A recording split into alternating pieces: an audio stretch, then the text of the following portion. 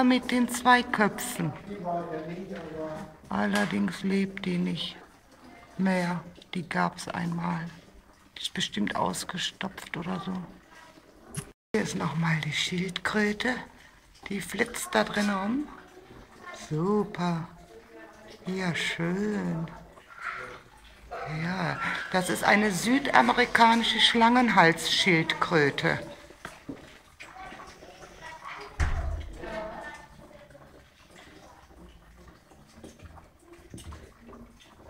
Sehen wir eine Klapperschlange aus South America. Die macht aber jetzt auch nichts.